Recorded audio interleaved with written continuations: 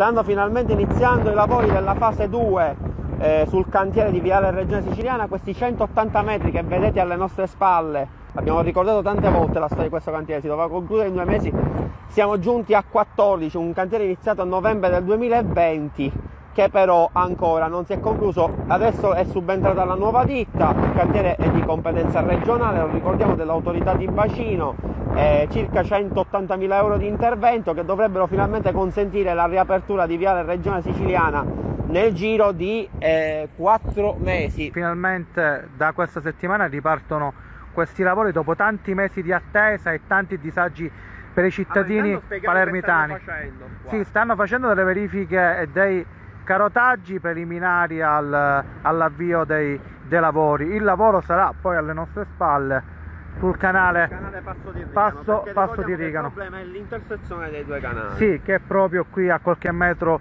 eh, da parte nostra. Finalmente questa diatriba regione comune si è conclusa.